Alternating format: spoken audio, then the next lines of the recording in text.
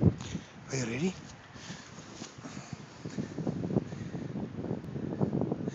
Dog snowplow. We had another two feet of snow yesterday. It's a beautiful thing. Uh, the dog had lost the stick.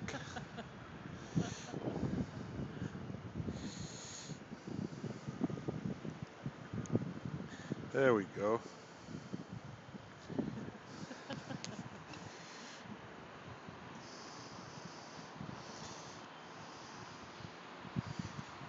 Good go.